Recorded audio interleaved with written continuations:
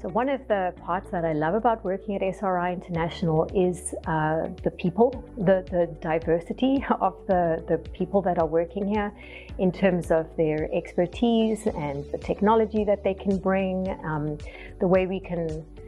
uh, collaborate on projects where I can come along with a sleep project where I understand there's maybe a clinical question, but I don't have the technology necessarily to, to be able to uh, understand or to advance um, our, our knowledge in that area. And working across divisions, um, we've been very successful at um, building devices, such as looking at whether we can improve insomnia symptoms. Um, but we've, we've needed to collaborate um, across with other uh, across groups at SRI International to bring our strengths together.